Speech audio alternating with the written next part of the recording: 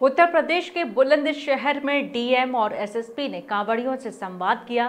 साथ ही कांवड़ शिविर में की गई व्यवस्थाओं का जायजा लिया, जिसके बाद शिविर संचालक को निर्देश दिए गए कि शिविर में प्लास्टिक के गिलास और अन्य वस्तुओं का उपयोग न किया जाए और सफ़ाई का विशेष ध्यान रखा जाए। इसके अलावा चिकित्सा कैंप में चिकित्सकों से कांवड़ियों को दिए गए उपचार के बारे में जानकारी हासिल की गई।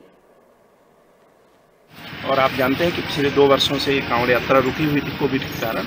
दो वर्षों के बाद ये प्रारंभ हुई है।